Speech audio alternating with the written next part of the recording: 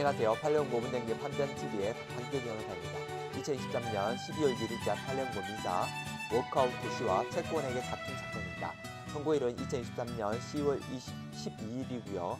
사건 번호는 2018-279330 판결입니다. 이 사건은 이제 협의회 의결 취소의 소고요. 어, 워크아웃 게, 어, 과정에서 어, 채권자 협의회의 그 협의 의결에 대해서 채권자가 취소를 청구를 했는데 어, 상고했다가 상고 기각됐습니다. 내용을 보시죠. 이 지능 기업이라는 이제 회사가 워크아웃을 개시를 합니다. 이 워크아웃을 개시를 하면 이제 채권자들이 이제 모여서 그 이 회사를 어떻게 이제 존속시킬 것이냐 아니면 파산으로 갈 것인지를 이제 회의를 하게 되는 거죠. 이 지능기업은 원고에 대해서는 연대보증 채무를 지고 있었습니다. 그래서 이제 피고 채권자 협의회가 구성이 되어 있는데 이 지능기업이 원고를 상대로 자율협약 위반을 이유로 연대보증 채무가 소멸하였다고 민사소송을 제기를 합니다. 그러니까 원고는 이제 연대보증 채무가 있었던 건 맞는데 자율협약이라고 해서 이거는 이제 워크아웃 전 단계인데 전 단계에서 이 이제 원고가 그 참여를 했다가 그 자유협약 위반을 이유로 연대보증 채무가 소멸했다고 민사소송을 제기한 겁니다.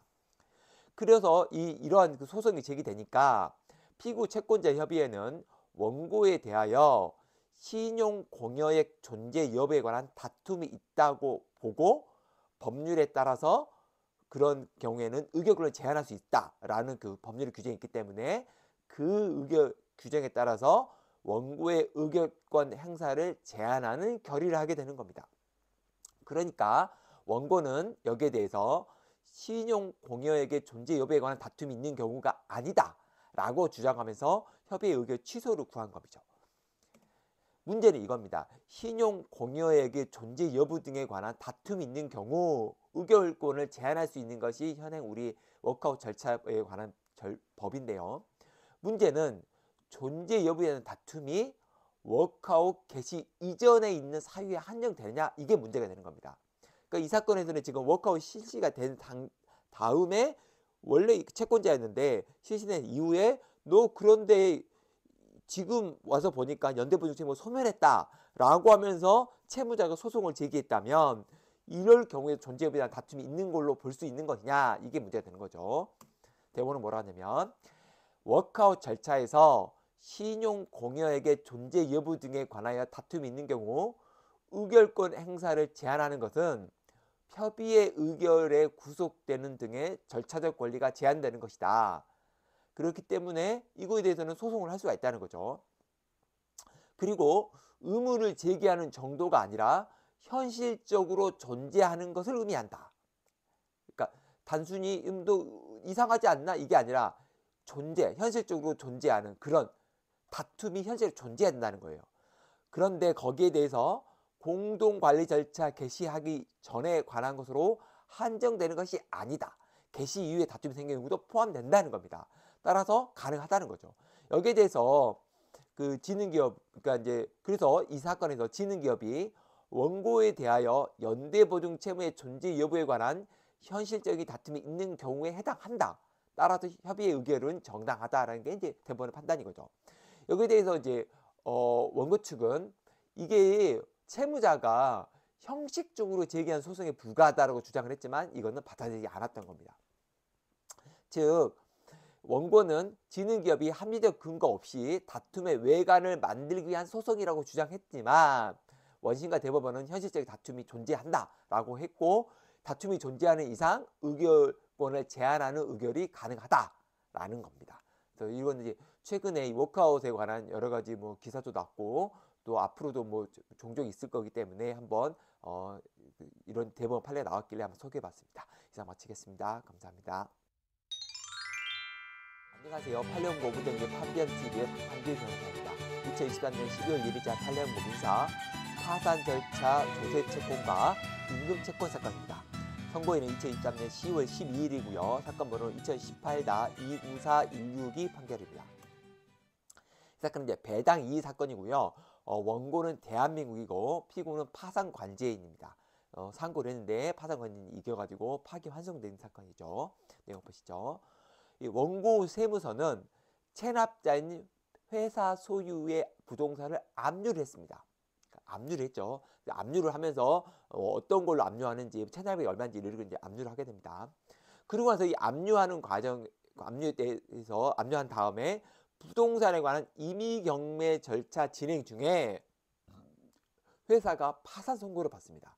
그러니까 압류를 이제 해놓고 나서면 나중에 이제 배당 이도 신청을 하게 되죠. 그러니까 그 그러니까 압류를 하게 돼서 부동산 경매가 시작되면 경매가 되면 채권자는 채권 신고를 다시 하게 됩니다.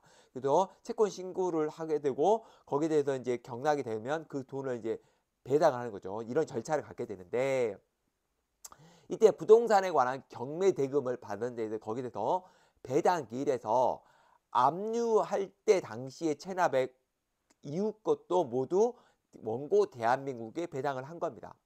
그러니까 이거 자체는 뭐 특별히 이상한 건 아닙니다. 그러니까 원래 왜, 왜냐하면 압류를 하고 나면 어, 나중에 채권 신고를 하게 되는데 채권 신고를 하고 그 채권 신고된 액수만큼을 배당하게 되는 겁니다.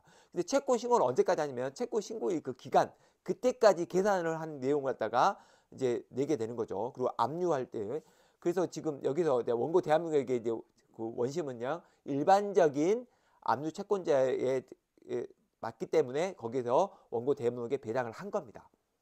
문제는 이 조세 채권에 의해 압류할 때 파산 선고를 한 경우에 별채권 행사와 재단 채권 범위가 문제가 되는 겁니다.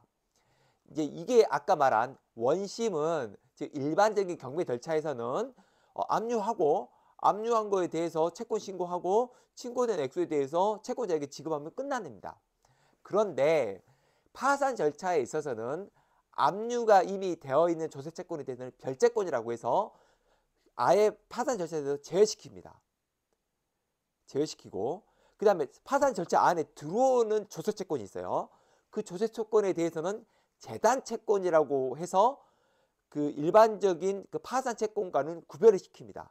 그래서 재단 채권이 먼저 구성을 한 다음에 그 재단 채권을 파산 채권에 우선해서 변제를 하게 되는데 이 재단 채권의 내용에는 조세 채권과 임진근 채권 이런 것들이 먼저 들어 있어요. 그렇기 때문에 이게 지금 별채권을 행사할 수 있는 채권과 그 다음에 이 재단 채권에 들어가는 채권이 압류한 이후부터 달라지게 되는 거죠. 이게 문제가 됩니다. 그러면 이 재단 채권으로 지금 압류한 이후의 것도 좀 배당을 했는데 이 재단 채권에 대해서는 어떻게 처리할 것이냐가 이 사건의 핵심이에요. 대법원 뭐라고 하냐면 파산 절차에서 조세 채권 등은 재단 채권으로 분류하여 파산 채권보다 먼저 수시로 변제하는 것이 맞다. 그런데 이 파산 재산이 재산이 재단 채권의 총액보다 부족한 경우에는 채권액의 비율에 따라 변제를 하기 때문에 파산 재산에 속한 채권액은 파산 관제인에게 교부하는 겁니다. 그래서 과세관청이 파산 선고 후 체납 처분으로 부동산을 압류한 경우에는 선고 전에, 그러니까 선고 전에, 파산 선고 전에 체납 처분으로 부동산을 압류한 경우에는 별채권이 행사되기 때문에 파산 절차와 무관하게 조세채권에 직접 배당받을 수 있습니다. 그렇다면 이거는 조세채권 압류 당시의 실제 체납액, 그 체납액만 조세채권자가 직접 배당받을 수 있고 압류 이후에 발생한 체납액은 파산 채권으로 들어가기 때문에 이거는 파산 재단에 귀속되는 채권이고 따라서 파산 관제인에게 먼저 지급을 해야 되는 겁니다. 물론 파산 관제인이 그걸 받아 나서 보니까 어 자기는 재산이 충분해서 파산 재단 그 재단 채권을 모두 변제할 수 있어. 그러면 뭐 전액 배당 받겠죠. 하지만 만약에 부족한 경우 대표적인 경우가 회사이기 때문에 임금 채권이 있습니다. 임금 채권과 조세 채권이 합이 이 지금 채권액보다 많은 경우가 많아요. 그러면 이거는 나눠 갖게 됩니다. 결국 대한민국은 원심대로 하면 전액을 받게 되는데 지금 대법원 판단대로 의하면 임금 채권과 조세 채권이 안 분해서 받을 가능성이 생겨버린 거죠. 그래서 조세 채권을 다 못 받게 될 수도 있다는 겁니다. 이게 이 대법원 판, 판례의 취지인 거예요.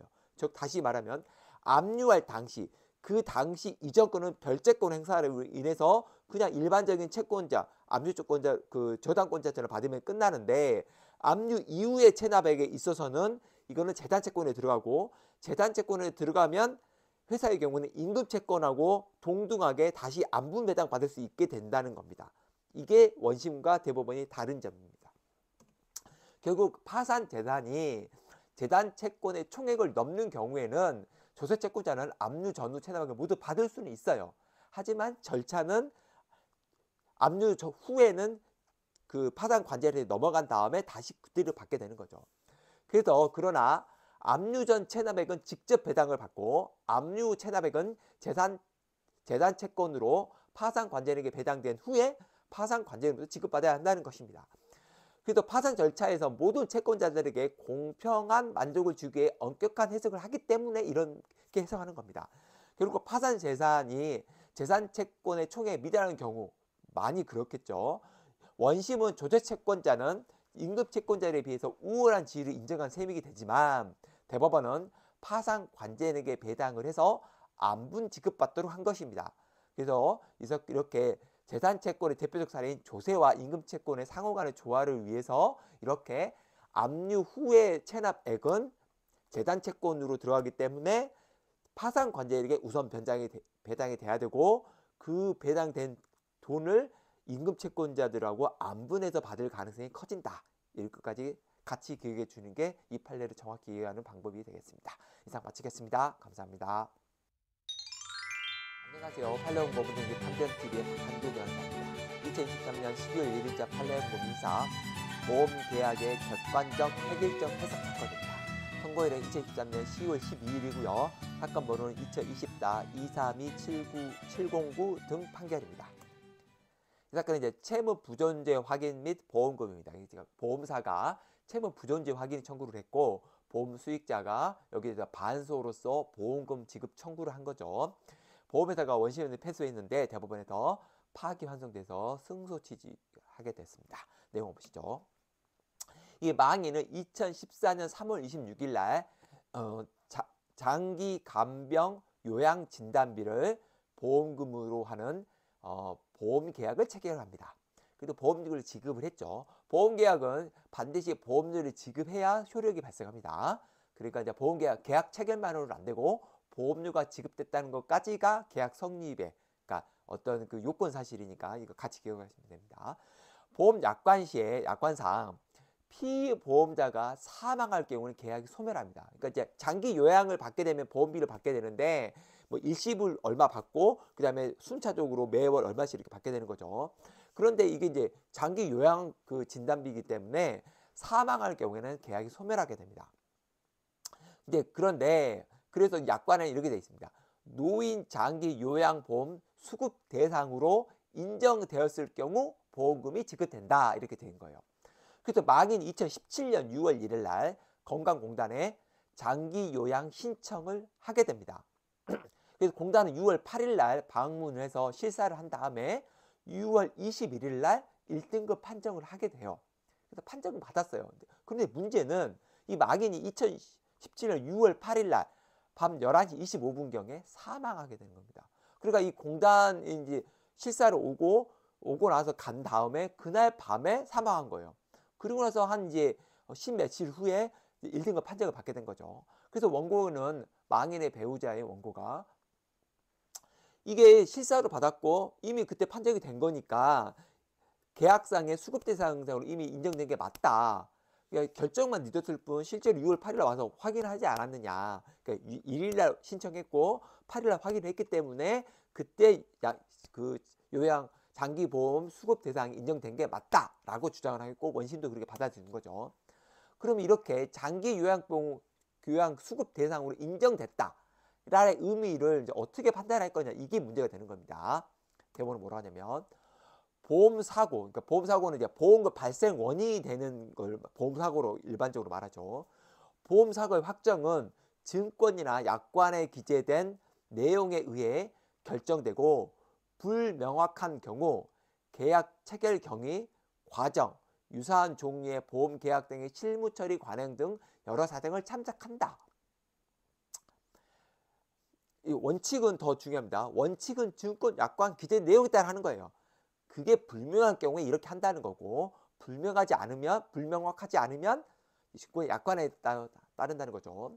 그러면 보험 약관은 평균적 고객의 이해 가능성을 기준으로 보험 단체 전체 이해관계를 고려해서 객관적 회의적으로 해석한다는 겁니다.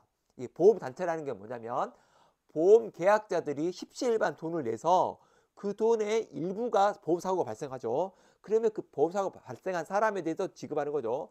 대부분은 보험 사고 발생한 보험 사고가 발생하지 않기 때문에 그 지급을 하지 않습니다. 그런데 그 전체를 보험 단체라고 봅니다.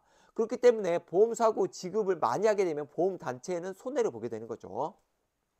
그래서 평균적 고객 이해관계 가능성을 기준으로 전체 계약자들의 이해관계를 고려해서 객관적 획일적으로 해석을 한다는 겁니다. 따라서 보 수급 대상으로 인정되었을 경우라 함은 등급 판정 위원회에서 장기 요양 등급을 판정받은 경우를 말하고 그런 경우는 6월 21일이 판정받은 거기 때문에 사망한 때인 2017년 6월 8일인 11시 25분 경에는 판정을 받은 때가 아니다라는 겁니다. 그래서 사망으로 계약이 소멸했고 그래서 더 이상 그 보험금에 관한 청구는 할 수 없다. 그래서 원고 패소 그러니까 그, 그 보험금 지급 청구한 피고 피고는 이제 그 기각되는 거죠. 결국 보험 계약의 해석은 약관에 의해 결정됩니다. 그 약관은 평균적 고객의 이해 가능성을 기준으로 객관적 획일적으로 해석한다는 겁니다. 원심은 여기에 대해서 뭐 여러 가지 사정을 봤을 때 이미 장기 요양 대상자가 아니냐라고 밖에서 임의적 해석을 했는데 그건 안 된다는 겁니다. 보험단체, 가입자 전체의 이해관계를 반드시 고려해야 되기 때문에 그런 임의적 해석은 안 되고 객관적 획일적 해석을 해서 어, 결국은 어, 등급 판정 받은 날 그날 이, 그 수급권자가 되기 때문에 어, 보험금 지급을 안 된다라는 겁니다. 이상 마치겠습니다. 감사합니다. 안녕하세요. 팔레온 고문쟁이 판변 TV의 박학규 변호사입니다. 2023년 12월 1일자 팔레온 고문사 의도 사건에서의 간접 사실 사건입니다.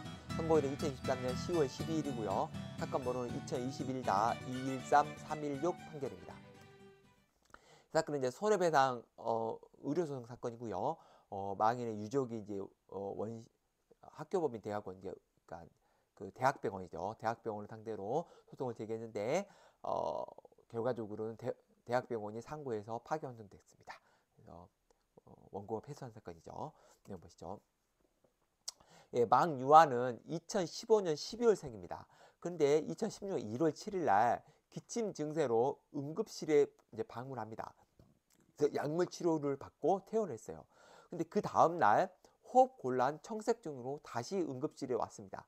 양쪽 폐에서 수포음이 증진이 됐고 그래서 이제 1시 15분경에 의료진은 심장 마사지와 기관 내 삽관을 시행합니다. 이제 기관 안에다가 삽관을 해서 거기다가 이제 좀 산소 그 농도 높은 산소를 이제 투입을 하는 거죠. 이 이게 유아가 회복과 악화를 반복하다가 어, 1월 10, 11일 날 기관 내 삽관이 다시 시행이 됩니다. 이 간호사는 2016년 1월 11일 날 21시 20분경에 가래 끓는 소리 소리가 들리자 기관 흡입을 합니다. 그래서 사, 이후에 이제 망아의 산소 포화도가 95%에서 64%로 저하됩니다. 그리고 의료진이 엠부 백인 기관내 삭관 심폐소생술을 계속 하다가 기흉이 발생되니까 기흉 천자를 시행을 했지만 그날 여, 어, 22시 30분경에 아이가 사망하게 되는 거죠. 그게 이제 결국은 이제 여기에 이제 의료 과실을 주장을 해서 지금 이제 소송을 하게 된 겁니다. 그런데 이제 지금 결국은 어 어쨌든 이제 뭐 아이가 지금 뭐 호전됐다가 악화됐다가 이렇게 반복을 며칠간 하고 있었던 상태에서 그 간호사가 이제 기관의 그 가래를 갖다가 이제 흡입하는 그걸 하게 되는 거죠. 그리고 하고 나니까 갑자기 이제 호흡 산소 포화도가 쫙 내려갔어요. 그리고 나서 이제 여러 가지 조치를 했지만 결국 사망하고 한 시간 만에. 그러면 이때 이제 의료진의 과실이 무엇이냐 이게 이제 문제가 되는 겁니다. 그러면 뭔가 있을지가 않느냐 이게 지금 이, 이 지금 가래를 흡입하는 과정 하려고 했더니 갑자기 산소 포화가 떨어졌고 그로 사망했으니까 이 아무래도 이, 이 가래를 흡입하는 이 과정에서 뭔가 잘못한 게 아니냐 이게 이제 문제가 되는 겁니다. 그럼 어, 의료진 과실이 뭐냐? 이게 문제가 되는 거죠. 이, 아무리 있었지 않았겠느냐? 이게 이제 그 원고의 주장이온 거고 원심도 네가 뭔가를 했기 때문에 그때 갑자기 떨어진 거고 그러고 사망한 거니까 된 거 아니냐? 이게 문제가 되는 거죠. 대본을 뭐라 하냐면 의사의 주의 의무는 당시 의료기관 등의 임상의학 분야에서 실천되고 있는 의료행위 수준을 기준으로 한다. 그리고 의료행위의 과실을 증명함에 있어서 의료상의 과실 이외에 다른 원인이 있다고 보기 어려운 간접 사실들을 증명함으로써 의료상의 과실에 기한 것임을 증명하는 추정하는 것은 가능하다. 그러니까 지금 간호사가 기관에 흡입을 했기 때문에 한 직후에 함소포화가 확 떨어졌으니까 이, 이게 지금 뭔가 잘못한 거 아니냐 이렇게 말했는데 대법원은 그게 아니라 그러니까 그게 이때 이 지금 요거를 이, 이 사정은 간접 사실이죠. 의료 사실을 의료 과실을 직접 하는 게 아니죠. 의료 간접 사실입니다. 여러 가지 흡입을 했고 그로 인해서 산소포가 떨어졌으니까 과실이 있는 거 아니냐 이게 이건데 여기서 말하고 있는 대법원을 말하, 말하는 거는 이 간접 사실로는 직접적으로 의료 과실을 추정할 수 없다는 겁니다. 만약에 그렇게 되면 무과실의 증명 책임을 의사에게 지우는 거기 때문인 거죠. 결국 간호사의 기관 흡입 과정이 뭘 잘못됐는지 입증이 안 됐다면 튜브 발관이 산소 포화 원인이 됐다고 단정이 어렵다는 겁니다. 즉, 즉그 튜브를 이제 일단 뽑아서 기관에 흡입을 했는데 이 튜브 발관이 산소 포화 전에 원인이 됐다고 단정이 어렵고 그 과정에서 무슨 과실이 있었는지를 명확히 밝혀야 된다는 겁니다. 발관을 했다는 이유만으로 과실이 있는 건 아니라는 거예요. 그거는 그 기관 흡입을 했기 때문에 그래서 기관의 튜브 발관이 산소포대 전 원인이 됐다고 단정하기 어렵고 또 나중에 발견된 기흉의 원인이 됐다고도 단정할 수 없기 때문에 주로 기흉의 원인이 이구로 인한 것임을 간접 사실로 입증할 수는 있지만 여기서 지금 당신들이 말하고 있는 그런 여러 가지 간접 사정 이런 가정만으로는 의료진의 과실이 추정될 수는 없다는 겁니다.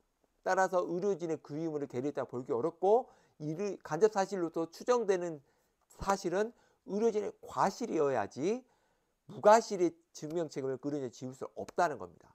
다시 정리하면 여러 가지 간접 사실을 통해서 의료진의 과실이 이렇게 특정이 돼야 돼요.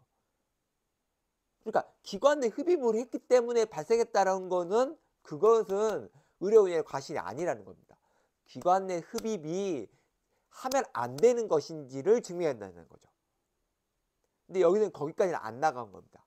그러니까 그 과정에 뭔가 잘못했지 않았겠느냐 이런 이거는 무과실 추정이기 때문에 그걸 안 된다는 거고 그 기관 내 흡입이 적절했다. 뭐 오케이.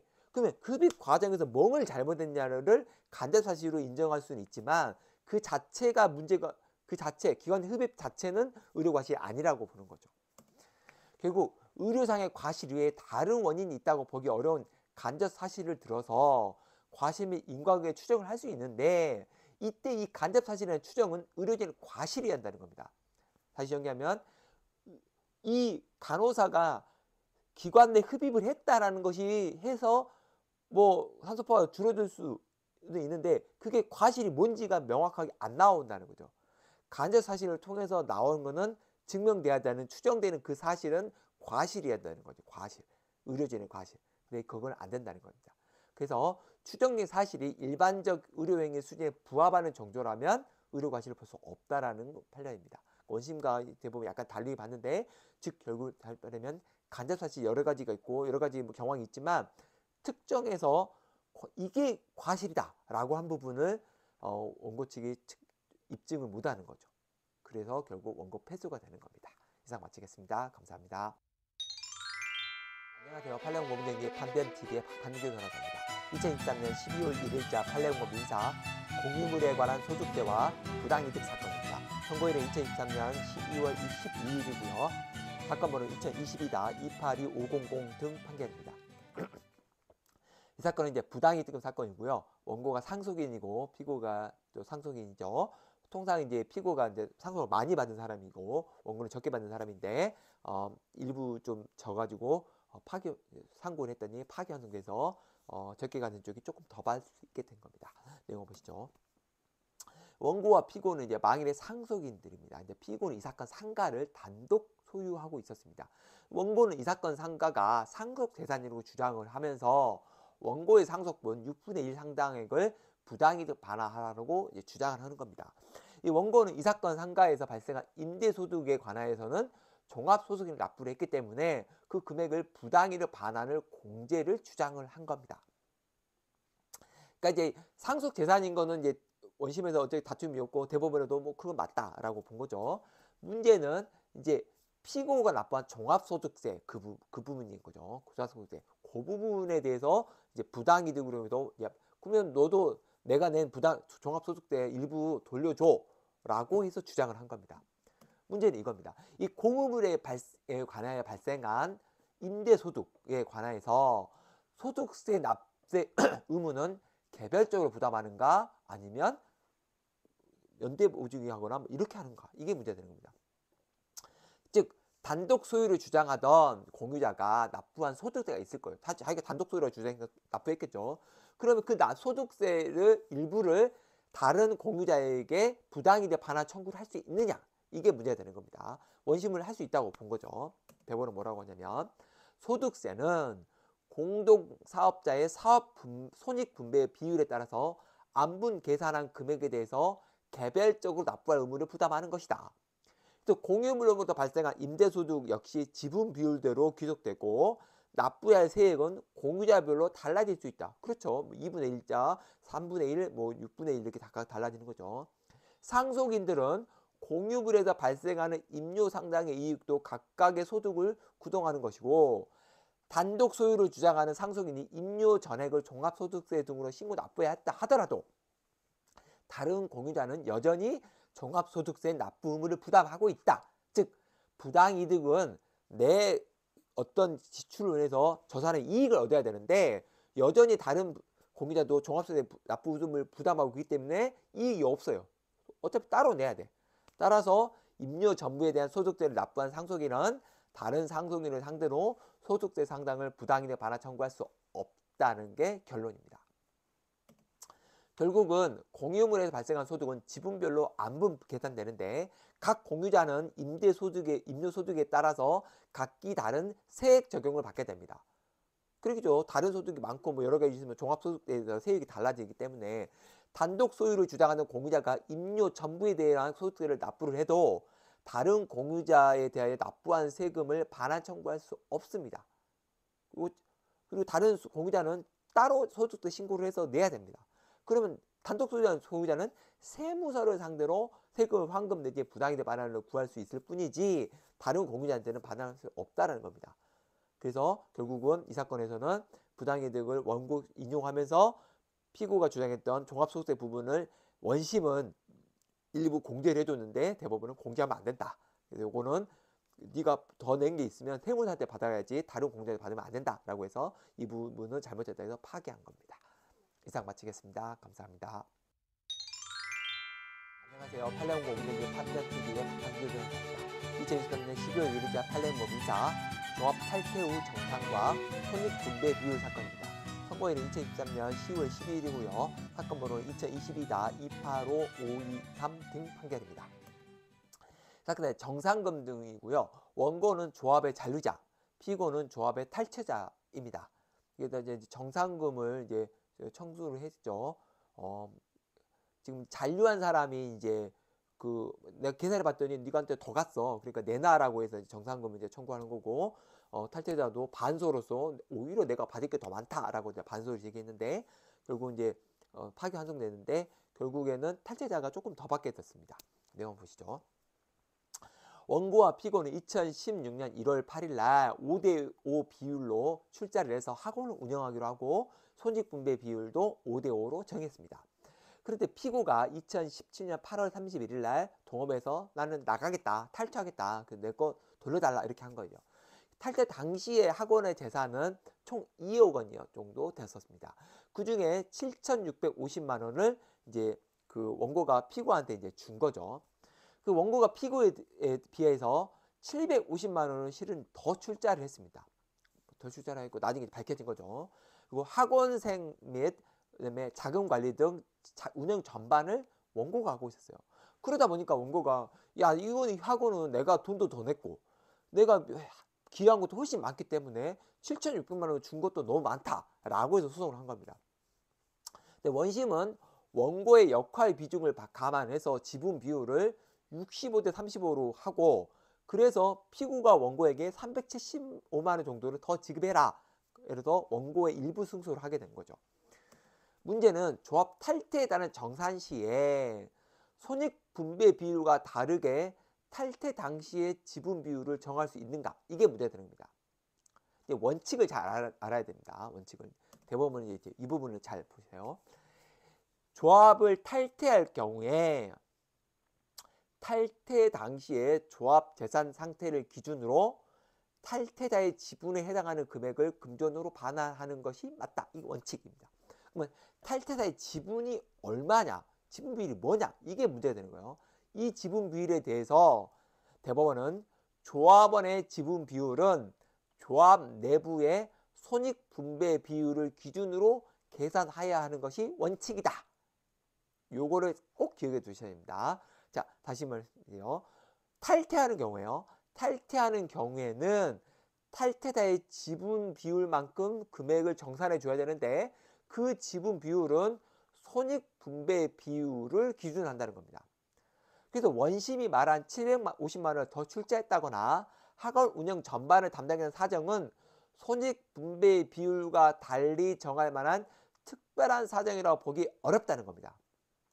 그러면 손익 분배 비율로 해야 되는데 그럼 5대 5죠. 이 5대 5를 어떻게 계산하느냐?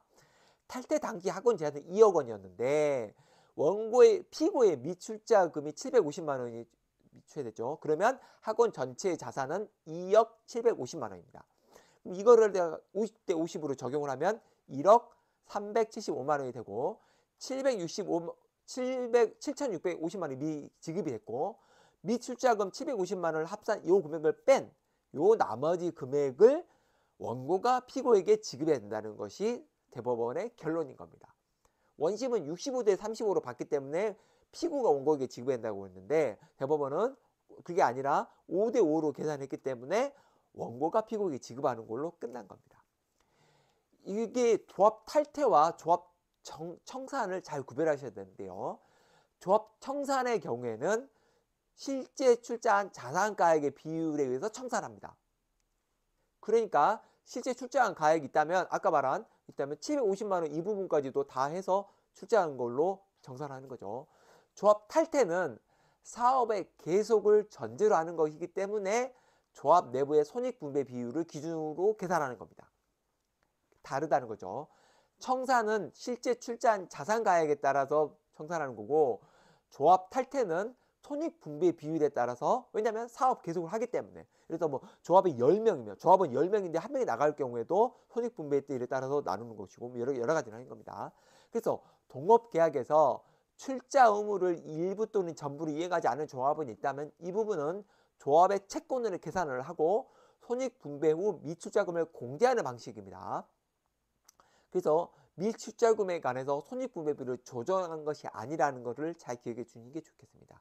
그래서 조합 청산과 탈퇴의 부분은 비율이 다르다. 이거 꼭 기억하시는 게 좋겠습니다. 이상 마치겠습니다. 감사합니다. 안녕하세요. 팔레온 고문의 판별TV의 박한대입니다. 2023년 12월 1일자 팔레온 고민사 구분 건물 대지와 제3자 공유 지분 사건입니다.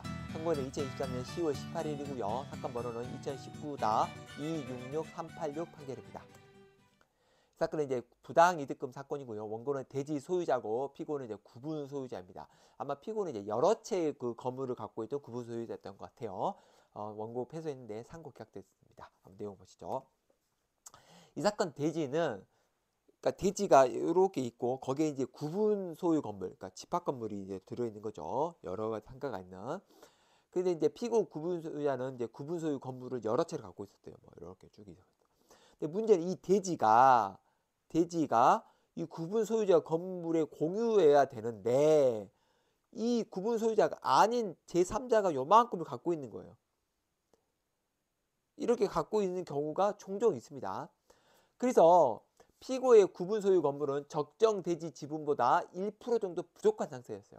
그러니까 지금 그 원고의 대지가 여기 전체 그 대, 부지의 일부를 갖고 있었기 때문에 전체에 대해서는 지금 그러니까 뭐 특정해서 갖고 있는 게 아니고 이제 비율로 갖고 있는 거죠. 비율로 비율로 갖고 있어서 그러다 보니까 어 피고의 구분소유 건물의 그에는 이제 전체 대중 중에 예를 들어서 한뭐 예를 들어서 한 10분의 1을 갖고 있어야 되는데 실제로 보니까 그보다 적은 12분의 1밖에 없는 거죠. 이런 뭐 식으로 되는 겁니다.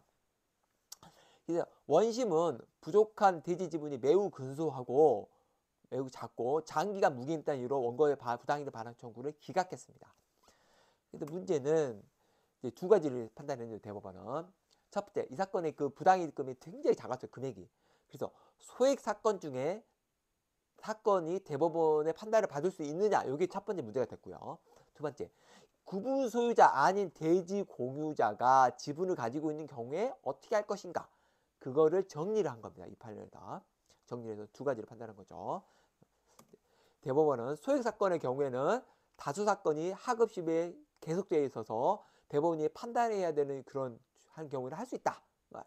법률 조항이 없지만 다수 사건이 막 하급심이 여러 개 상기돼 있으면 대법원이 여기서 정리하는 의미에서 소액 사건에 대해서도 대법원 법률에는 소액 사건은 대법원 판례에 반하는 경우만 할수 있다고 되어 있지만 대법원은 이게서 그런 경우 아니더라도 필요한 경우를 할수 있다라는 게 대법원의 이제 판단인 거죠. 그래서 정리를 어떻게 했냐? 구분 소유자가 아닌 제3자가 대지 공유자가 일부 지분을 갖고 있는 경우 어떻게 하느냐? 첫째, 각각 구분 소유자의 등기부에 그 공유 이제 대지 지분이 있겠죠. 그 지분이 전체 부지에 따라서 이렇게 나누다 보니까 적정 대지 지분을 가진 구분 소유자에 대해서는 부당이득 반환 청구할 수 없다는 겁니다. 이게 이제 왜 이 말을 하냐면 이게 공유라는 거는 특정한 곳을 갖고 있는 게 아니에요. 그래서 전체적인 공유고 그 공유에 대해서 이제 이렇게 쭉쭉 나누다 보면 전 공유 소유 건물에 조금씩 조금씩 물려 있을 수밖에 없어요. 근데 그럼에도 불구하고 적정한 대지 지분을 갖고 있는 구분 소유자에 대해서는 그 지분에 관한 권리 행사할 수 없다라는 게 이제 대법원 판례입니다. 그래서 적정 대지 지분을 가진 구분 소유자에 대해서는 부지의 일부 공유자는 부당이득 청구할 수 없다. 두 번째, 적정 대지 지분보다 부족한 대지 지분을 가진 구분 소유자에 대해서는 부당이득 반환 청구할 수 있다. 이것도 이제 원칙입니다. 그래서 이것보다 부족한 경우, 부족한 경우에는 할 수 있는 거죠. 그런데도 불구하고 세 가지 경우에는 인정하지 않습니다. 세 가지 경우에 이거는 부족한 대지짐을 갖고 있는 소유자임에도 불구하고 세 가지 경우에는 부당이득 청구 인정 안 합니다. 첫 번째, 이 매우 근소하게 부족해서 반환 청구가 신의 성질 원칙에 반하는 경우에는 인정하지 않습니다. 그러니까 매우 적은 경우에는 인정하지 않는 거고 두 번째, 분양자로부터 건물 대지를 무상으로 사용할 수 있는 권한을 부여받은 경우에는 인정하지 않습니다. 무슨 말이냐면 분양자가 원래 갖고 있던 지분이 무슨 이유로 인해서 남한테 넘어가서 그래서 공유가 된 경우 분양자는 이거를 무상의 권한을 부여했던 그런 경우에도 인정하지 않습니다. 세 번째, 현재의 사실 상태가 장기간 묵인되어 온 경우에는 불인정합니다. 그러니까 현재 이, 이게 공유하고 있는데 이거를 뭐 몇십 년 계속 그냥 가만히 놔둔 경우에도 인정하지 않습니다. 그래서 이렇게 실제로 구분소유자 아닌 자가 하는 경우에 아닌 대지 공유자가 일부 지분을 공유하고 있는 경우에는 여러 가지 그뭐 허들을 만들어서 실제로는 어 지급 그러니까 부당이득 반환 청구를 인용을 안 하는다고 하는 것이 대법원 판례의 입장인 거죠. 그리고 또 하나 마지막으로 한 게 근소하게 부족한 경우라는 것은 구분 소유권 별로 판단하는 겁니다. 그래서 소유자가 여러 개의 부동산을 소유하고 있어서 합쳐보면 좀 많지 않냐 이렇게 했는데 그게 아니라 하나씩 하나씩 판단해서 근소하다면 그것도 인정하지 않겠다라는 게 대법원 판단인 거죠. 그리고 구분 소유 건물인 아파트나 상가의 대지 일부가 제3자의 소유인 경우가 간혹 있습니다. 대법원은 이 경우 대지 공유자의 지분에 의한 부당인의 반환 청구에 대해서 판례 법리를 만들어서 해결하고 있는데 적정 대지 지분을 소유한 구분 소유자, 과소 대지 지분을 소유한 구분 소유자로 구별을 하고 있어요. 그래서 과소 대지 지분을 소유한 구분 소유자에 대해서도 부당이득 반환 인정 범위를 매우 좁히고 있습니다. 그래서 사실상 구분 건물의 대지 소유 공유자는 소유권 행사가 사실상 불가능한 것이 판례의 태도입니다. 물론 가능한 경우도 있겠죠. 어쨌든 판례의 태도는 꼭 기억하시는 게 좋을 것 같습니다. 이상 마치겠습니다. 감사합니다. 안녕하세요. 판례연구 부장님 판변TV의 박한규 변호사입니다. 2023년 12월 1일자 판례연구 민사 채권자 취소권과 입증 책임 사건입니다. 선고일은 2023년 10월 18일이고요. 사건 번호는 2023다 237804 판결입니다. 이 사건은 이제 사형이 취소 사건이고요. 원고는 채권자인 금융기관이고 피고는 수익자인데 이 사람도 채권자였습니다. 그러니까 이제 그 채무자가 일부 채권자에게 어, 자기의 재산을 넘김으로써 그 넘긴 그 재산이 사행이라고 주장하는 소송이었죠.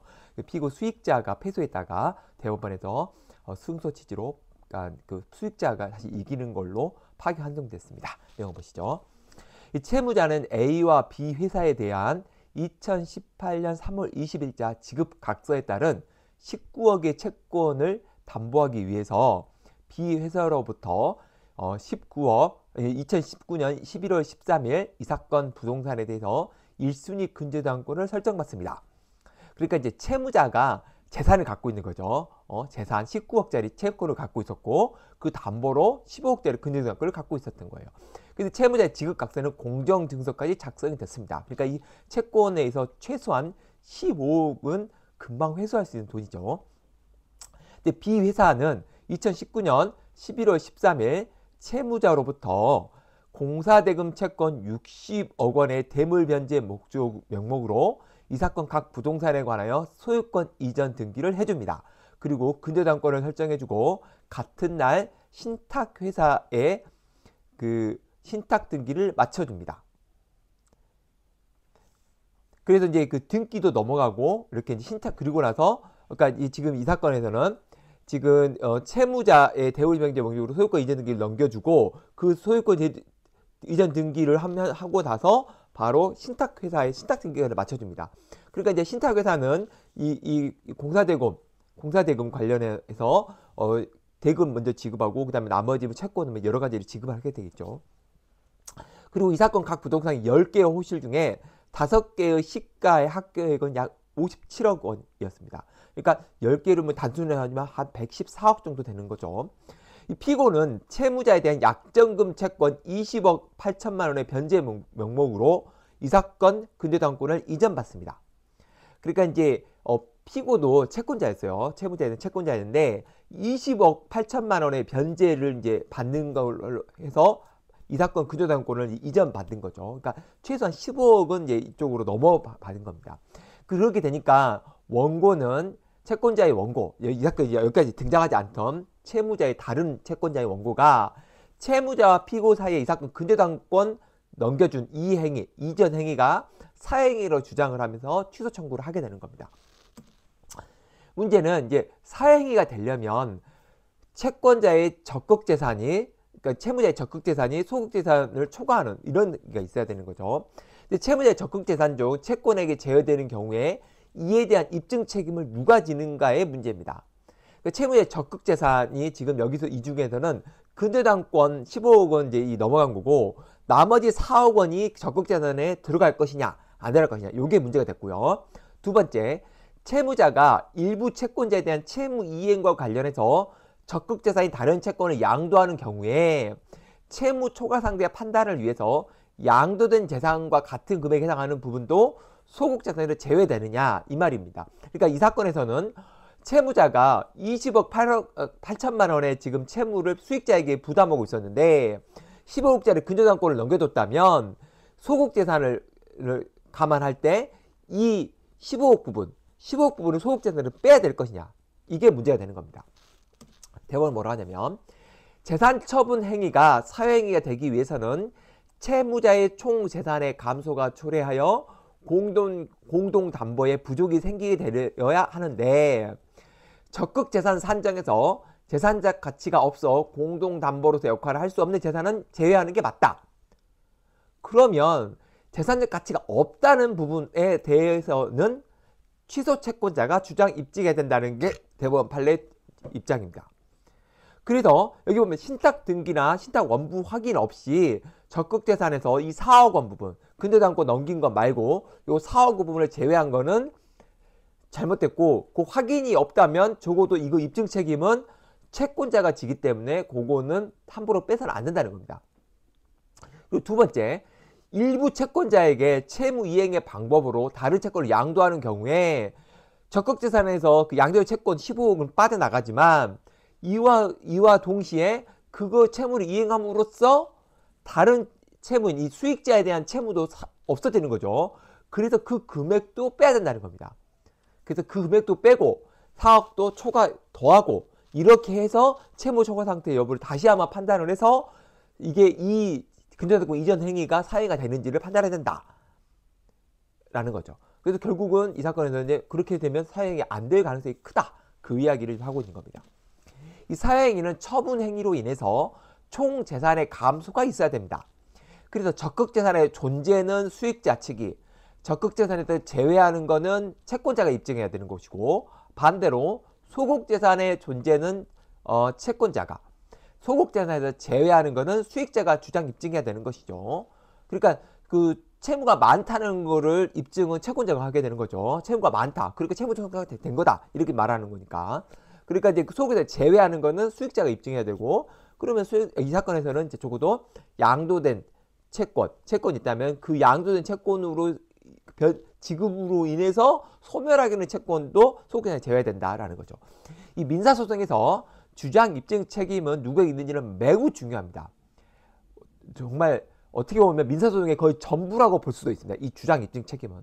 그래서 각 사건이나 판례마다 주장 입증 책임이 누구에게 있는지를 반드시 확인해야 됩니다. 이거 잘못하면 큰 낭패 볼 수 있습니다. 자기가 주장 입증 책임이 있는데도 불구하고 그걸 제대로 입증 안 해서 폐쇄하는 경우도 있고 그래서 그 입증을 제대로 못해서 폐쇄하는 경우 상당히 많습니다. 그래서 반드시 판례를 볼 때는 이 주장 입증 책임이 누구에게 있는지를 반드시 하나하나 확인해야 됩니다. 확인해서 이 사건에서는 분명히 나오고 있죠. 적극 재산에 대해서 이것이 재산적 가치가 없어서 제외돼야 된다 하 면 적극적 재산적 가치가 없다는 점에서 채권자가 이걸 입증해야 된다라는 겁니다. 적극재산의 제외는 채권자 입증해야 되기 때문에 그래서 이런 판례는 주당 입증책에 반드시 잘 기억해서 함께 기억하시는 게 좋겠습니다. 이상 마치겠습니다. 감사합니다. 안녕하세요. 팔레온고 문정기의 판변TV의 박한규 변호사입니다.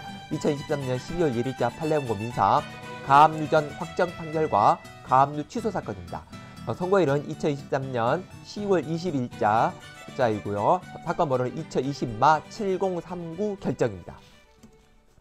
이 사건은 가압류 취소 사건이고요. 어, 가압류 취소라는 것은 가압류가 되어 있기 때문에 그, 그를 취소해야 된다. 그러니까 채무자가 신청인이고 피신청인은 채권자가 되는 거죠. 근데 채권자가 가압류 취소를 당했는데 재항고를 대법원에 재항고를 해서 결국 파기 환송됐기 때문에 채권자가 승소해서 가압류가 취소되지 않는 결론으로 끝나게 된 사건입니다. 내용 보시죠. 이 신용금고는 A와 B를 상대로 양수금 청구의 소를 제기해서 전부 승소 판결을 받았습니다. 확정까지 됐죠. 그런데 이 피신청인 채권자가 2001년 12월 31일 날 신용공고 합병을 합니다. 그 합병을 하면서 위 채권을 모두 양수받은 거죠.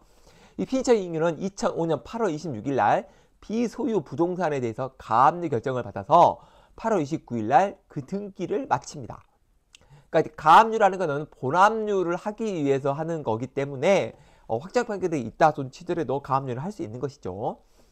가압류 등기 전에 이 사건 부동산에 1985년 12월 25일 날 C 명의의 가등기가 있었습니다.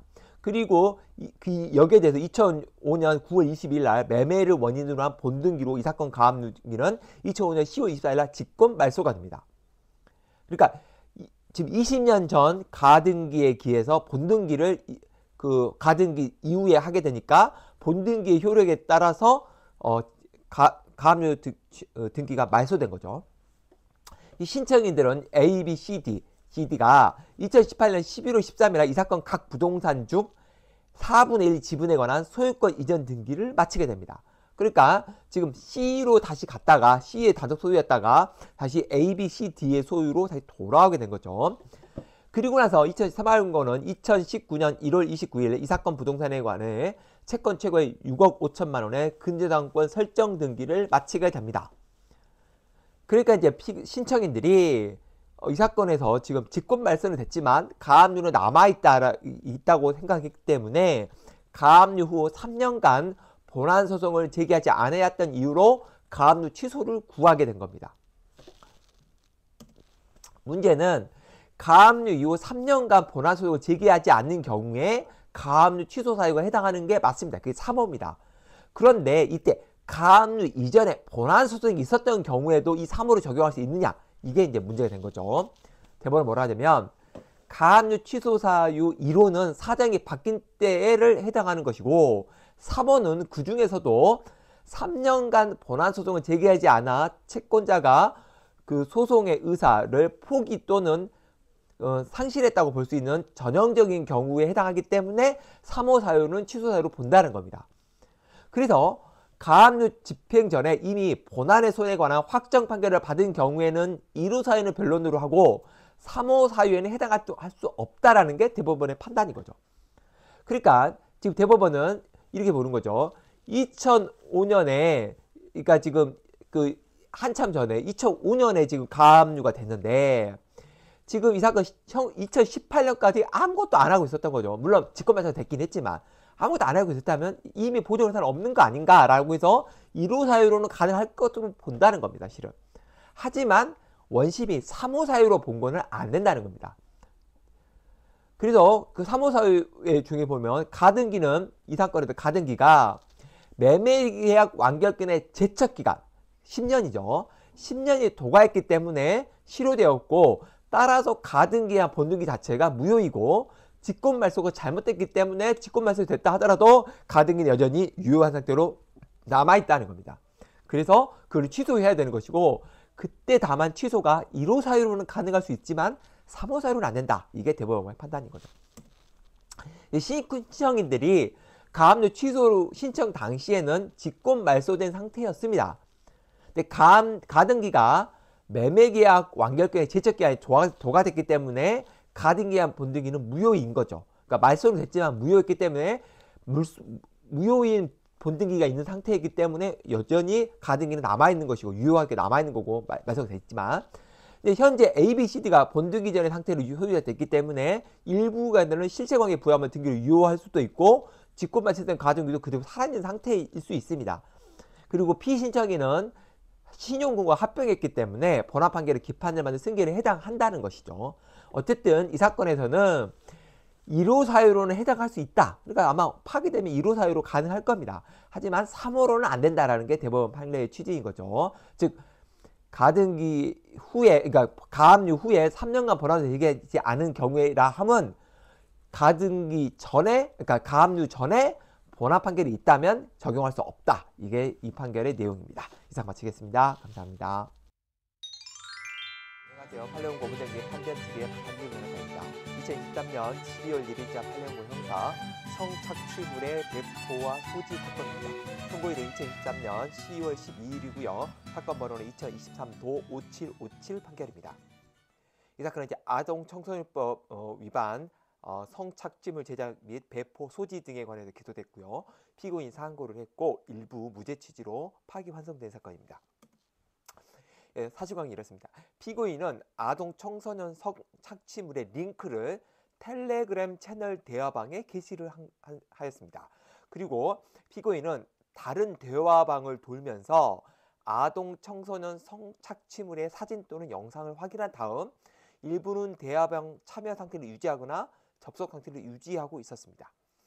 수사기관은 대화 대화방에 그러니까 그 피고인이 만든 그 대화방 링크에 게시한 거 이거를 아동 성착취물의 어, 성, 배포로 기소를 하였고 음란 대화방에 그 여러 군에 참여해서 그 참여 상태 또는 접속 상태를 유지하고 있는 것을 소지로 기소를 한 겁니다. 근데 이렇게 성착취물 영상 자체가 아니라 그 영상을 볼 수 있는 서버에 링크를 게시한 거를 성착취물 배포로 볼 수 있는가? 이게 첫 번째고요. 두 번째는 대화방, 그러니까 텔레그램의 대화방에 이제 여러 대화방 안에 그 이런 음란물을 갖고 있는 대화방들이 있어요. 그 대화방에 접속 상태 또는 접속 유지를 한 것이 그, 그 음란물을, 성착취물을 소지한 걸로 볼 수 있는가? 이게 문제가 된 겁니다. 대화를 뭐라 하냐면 링크를 이용해서 별다른 제한 없이 이게 중요합니다. 별다른 제한 없이 성착취물에 접할 수 있는 상태를 실제로 조성한다면 공연히 전시한 것과 다를 바 없어 배포에 해당한다. 그러니까 링크 게시도 문란물 배포가 된다라는 겁니다. 기억해 주셔야 됩니다. 두 번째, 그런데 소지에 있어서 자신이 지배하지 않는 서버 등에 저장된 성착취물에 접근하였지만 성착취물을 다운로드하는 등 실제로 지배할 수 있는 상태로 나아가지는 않았다면 특별한 사정이 없는 한 소지한 것으로 평가할 수 없다는 겁니다. 그러니까 예를 들어서 어떤 영상물의 그, 그 판매자의 어, 클라우드 서버에 있는 경우 그런 경우에 그 서버 안에 있는 상태에서는 아직까지는 소지라고 볼 수 없다는 거죠. 실제로 다운로드를 해야만이 소지한 걸 볼 수 있다는 거죠. 그래서 자신이 지배하는 텔레그램, 즉 피고인이 만든 개설하고 그다음에 관리자로서 운영하고 있는 그 텔레그램에 20개의 영상을 게시하면서 그 접속 상태를 유지한 것은 소지에 해당하는 게 맞다. 그 20개 영상은 소지 맞다. 그러나 피고인이 가입한 다른 채널, 텔레그램 채널, 거기 대화방에 있는 게시물 480개는 실제로 다운로드도 안 했고 자신의 채널 등으로 전달하지도 않아서 실제로 지배할 수 있는 상태로 나아갔다고 볼 수 없어서 소지한 것도 볼 수 없다. 그래서 이 부분 유지한 것은 잘못됐다. 그래서 파기한 겁니다. 이렇게 링크 게시는 다른 제한 없이 접할 수 있는 링크라면 배포에 해당합니다. 그래서 링크 게시도 성착취물 배포가 되기 때문에 꼭 알아주셔야 되고요. 두 번째, 성착취물을 다운로드 하거나 또는 자기가 관리하는 자기 클라우드 서버 같은 여기에 보관하는 것은 소지에 해당합니다. 근데 자신 다운로드 하지 않고 그 채널에 올려둔 경우에는 그 채널이 자기가 지배하는 채널이라면 소지가 가능하다. 소지에 해당한다라는 거고 자기의 채널이 아니고 남의 채널에 있는 거를 대화방을 유지하고 있는 거 이것만 갖고는 소지에 해당하지 않는다는 겁니다. 이게 성착취물의 배포 소지에 있어서는 이런 개념들을 잘 알고 있어 구별을 해야 되고 그래서 소지라는 거는 지배 가능한 영역 안에 있어야 되는 것이고 자기가 만약에 어, 딱 보려고 했는데 누군가 그걸 없애버렸을 경우에는 못 본다. 그거는 아직은 소지가 아니다라고 보는 거라고 간단히 이해하시면 될 것 같습니다. 이상 마치겠습니다. 감사합니다. 안녕하세요. 판례공보 오문대리 판변TV의 박한규 변호사입니다. 2023년 12월 1일자 판례공보 형사 박사방 운영진과 실검 챌린지 방조 사건입니다. 선고일은 2023년 10월 18일이고요. 사건 번호는 2022도 15537 판결입니다. 이 사건은 이제 아청법 위반 음란물 배포 등 방조에 관한 사건이고요. 어, 피고인은 이제 방조 혐의로 어, 유죄가 됐는데 대법원에서 파기 환송됐죠. 내용 보시죠. 방 박사방 운영지 그러니까 옛날에 이제 그 텔레그램에 있는 박사방이라는 방을 만들어 가지고 거기서 이제 음란물을 이렇게 유포하고 제작도 하고 뭐 이런 거죠. 근데 이 박사방 운영진이 별도의 텔레그램 그룹에 미션방이라는 걸 개설합니다. 근데 미션방에다가 특정 시간에 미션방 참여자들이 네이버에 일제히 특정 검색을 입력함으로써 검색으로 노출되도록 하는 실검 챌린지를 지시를 합니다. 그러니까 챌린지 게시를 하는 거죠. 그래서 이 피고인이 2019년 12월 2일 날 피해자 A, 이 사람은 약간 유명인이었던 것 같아요. 그 피해자 A의 음란물을 게시한 것과 관련해서 해서 피고인이 미션방의 지시에 따라서 4회에 걸쳐서 검색어를 입력하고 그 검색 사실을 그 텔레방, 그 미션방 안에다가 올려가지고 인증을 한 거예요. 그래서 음란물 배포 행위에 대한 방조로서 기소가 된 겁니다. 근데 문제는 이렇게 음란물 배포 이전, 이전에 검색의 노, 노출, 이 노출을 이제 그 운영진이 하려고 하는 거죠. 이 검색어 노출을 위한 미션 수행 행위를 배포의 방조 행위로 볼 수 있는가? 이게 이제 문제가 되는 겁니다. 그러니까 지금 정확히 말하면 음란물을 지금 운영하고 있는 이 사람들이 이거를 이제 많이 보게 하기 위해서 검색어 노출을 하려고 하는 거예요. 그리고 검색어 노출을 하기 위해서 어, 미션 그 검색 실검 챌린지를 이제 미션으로 건 거죠. 그 미션 챌린지에 참여한 거를 방송적으로 볼 수 있느냐 요겁니다. 대부분 뭐라 하냐면 공지 시점과 검색 시점이 상당히 짧은 사실은 인정이 된다. 그런데 이제 그런데 예, 그런데 그죠. 미션 공지 시점보다 약 40분 전부터 동일한 키워드가 반복적으로 검색되고 있었다. 그러니까 미션 이전에 이미 공습이 되고 있었다는 거죠. 피고인은 그 전부터 피해자 이름을 알고 있었고 미션방 참여자는 2,700명인데 2일 동안 피해자를 검색한 사람은 12,000여 명으로 미션방 이외의 다른 사람들도 다양한 경로와 동기에서 이를 검색하였을 가능성 또한 배제할 수 없다는 겁니다. 그리고 여기서 또 하나가 실검 챌린지에 참여하지 않아도 채팅방에서 강제로 탈퇴되지는 않았어요. 그렇다면 대법원이 보기에는 오히려 운영진이 음란물 판매를 촉진하는 의도로 시작한 실검 챌린지 등의 피고인 등이 이용된 으로 볼 여지가 있다는 겁니다.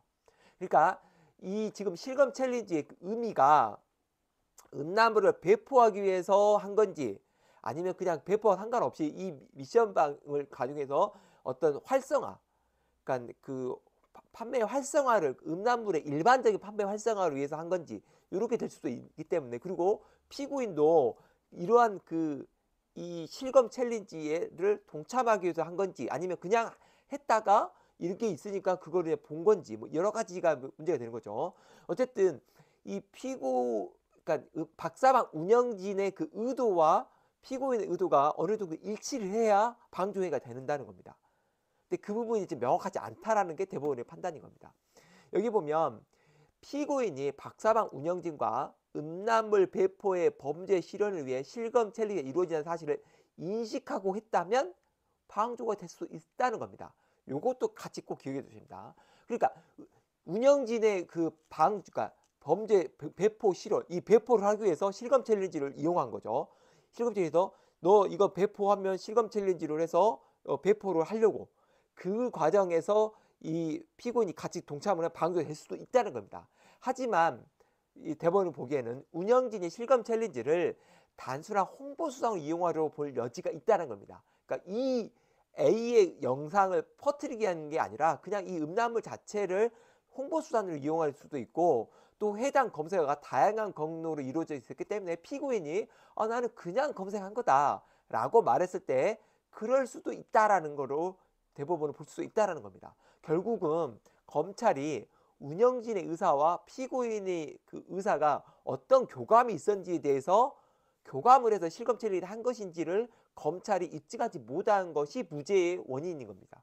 만약에 이 사건에서 검찰 측이 이러한 운영진 의사와 실검 챌린지의 목적 등을 피고인하고 어떤 교감이 있었다는 걸 입증을 했다면 방조가 될 수도 있다라는 것이죠. 그러니까 요거는 지금 어떻게 보면 입증의 부족으로 지금 어, 무죄가 된 것이지 어떤 그 법리적으로 무죄가 됐다고 보기는 어려운 내용이라는 겁니다. 그래서 이건 실검 챌린지 자체가 유죄가 될 수 있다는 것도 같이 기억해 주는 게 좋을 것 같습니다. 이상 마치겠습니다. 감사합니다. 안녕하세요. 팔레옹 법무 대기 판비안 TV의 박한규 변호사입니다. 2023년 12월 1일자 팔레옹 법 형사 삭제 대상 전자정보와 압수수색 절차 사건입니다. 선고일은 2023년 10월 18일이고요. 사건 번호는 2023도 8752 판결입니다. 어, 이 사건은 매우 중요한 판례이기 때문에 꼭 기억해 주셔야 됩니다. 이 사건은 이제 아청법 위반, 유괴 등 유사 성행위 위반 사건이고요. 피고인이 상고했고 어, 파기 환송됐는데 내용은 압수수색 절차에 관한 위반으로 파기 환송된 겁니다. 내용 보시죠. 이 피고인은 2022년 4월 17일 날 13세 피해자 A를 상대로 유사 성행위를 했다. 한 걸로 기소가 됐고 또 하나는 2022년 6월 2일 날 피해자 A를 상대로 성매수를 위해 유인 또는 권유함으로써 그것도 기소가 됐습니다. 또 피고인은 2021년 8월 9일부터 2022년 5월 29일까지 6회에 걸쳐서 성매매를 하면서 피해자 B와의 행위를 의사에 반해 촬영한 것도 기소가 됐습니다. 그리고 8월 9일날 성매매한 거. 그 다음에 피고인 2021년 10월 16일부터 2020년 4월 5일까지 7회에 걸쳐서 미성년자를 상대로 간음 또는 성적 학대, 성착취물을 제작한 거. 요것도 이 크게 세 개의 행위로 기소가 된 겁니다. 문제는 압수수색 과정인데요. 경찰은 2022년 6월 2일 날 피해자 A 13세 미만 그 피해자 A의 성행위 유인으로 이 피고인을 긴급 체포합니다. 그리고 6월 4일 날 압수영장을 발부받죠. 그리고 나서 피고인은 2020년 6월 6일 날 휴대전화 탐색 복제 출력 과정에 대해서 불참 의사를 표시를 합니다. 그 나는 이제 그 압수수색 과정에서 그, 그 문서 촬영, 그 탐색하는 거에 대해서 참여하지 않겠다라고 표시를 한 거죠. 6월 6일 날. 그래서 경찰이 22년 6월 24일 날 문자 메시지 내역 등을 압수하고 압수 목록을 피고인에게 교부를 한 겁니다. 그 이게 1차 압수였어요. 1차 그 압수까지는 문제가 없습니다. 문제는 경찰이 여제 수사 명목으로 22년 7월 18일 다른 피해자와 피고인을 곽 조사를 한 겁니다. 그래서 경찰은 종전 압수수색에서 추출한 전자정보가 정보 저장된 컴퓨터에서 그러니까 이게 그, 그 핸드폰 같은 거를다가 포렌식을 해서 파일을 갖고 있죠. 이 파일을 다른 뭐 저장 장치에서 갖고 있던 거죠. 그 컴퓨터에서 피해자 B, 다른 피해자죠. A가 아닌 피해자 B가 촬영된 영상을 압수, 압수를 하고 피고인에게 압수 목록을 교부한 겁니다. 그 2차 때는 지금 1차 압수가 이미 끝나서 압수 목록의 교부가 끝났는데 그 파일을 갖고 있는 거를 다시 검색을 해서 그 중에 피해자 B와 관련된 자료를 검색을 하고 그 검색한 다음에 그거를 피고인에게 압수 목록을 교부한 거죠. 물론 피고인은 그때도 어 이, 그러니까 입회를 하진 않았죠. 그랬더니 검사가 2022년 8월 23일 날 2차 압수수색 영자 정보에 대해서 별도의 압수수색 영장을 발부받으라는 보완 수사 요구를 하게 됩니다. 그 경찰은 22년 9월 8일 날 법원에서 피해자 B 등에 관한 부분을 대상으로 하는 압수수색 영장을 발부를 받아서 9월 10일 날 두 번째 받으면 영장 집행을 하면서 피해자 B 또는 그 외에 C라든 다른 피해자들의 영상물도 추가 압수를 합니다. 세 번째 압수를 한 거죠. 그리고 나서 이 9월 10일 압수할 때 어떻게 했냐면 9월 10일자 수사 보고서에 9월 15일 날 교도소 접, 접견해가지고 피고인에게 압수 목록을 제공할 예정을 취지를 기재를 한 겁니다. 그러니까 9월 10일 날 그 압수의 3차 압수에 대해서는 피고인이 참여를 하지 않은 거죠. 않은 거죠. 그러면 이제 문제는 이겁니다. 압수수색 영장을 집행을 해서 증거 목록 교부가 끝났는데 그때 다시 압수 영장의 유효기에 남아 있는 그 상태에서 그 파일들을 다시 들어볼 수 있는가? 즉, 집, 영장이 집행한 후에 영장의 유효기간 내라면 다시 압수수색을 할 수 있는가? 두 번째, 피의자가 압수수색의 집행에 참여하지 못한 경우에 통지 의무의 예외 사유인 급속을 유한 때에 해당하는 경우는 어떤 경우를 말하는가?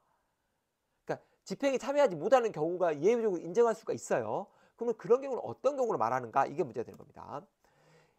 대법원은 뭐라고 하냐면 2차 압수수색 두 번째 거 2022년 어 6월 24일 전자기을 압수하고 같은 날 피고인에게 압수 명령과에 교부한 이상 영장의 효력이 상실됐다. 그러니까 1차 압수수색으로 영장의 효력이 이미 상실했기 때문에 두 번째 압수는 영장 없이 압수한 것이 된다는 겁니다. 그 두 번째, 1차 압수수색 종료 후에 피해자 B에 관한 정보는 모두 삭제 폐기의 대상일 뿐 더 이상 복제 출력 또는 검색의 대상이 될 수 없다는 겁니다.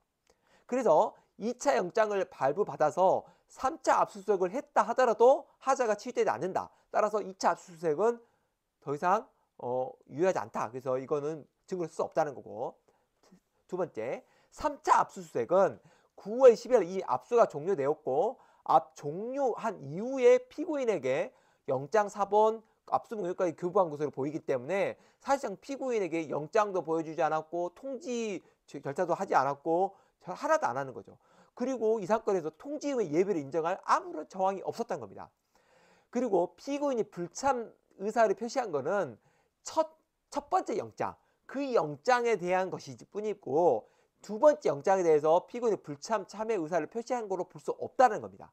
따라서 피해자 B 두 번째 압수한 거, 세 번째 압수한 거 모두 증거로 쓸수 없기 때문에 다 파기해야 되고 따라서 이 부분은 유죄로 할 수 없다라는 게 대법원의 판단인 거죠.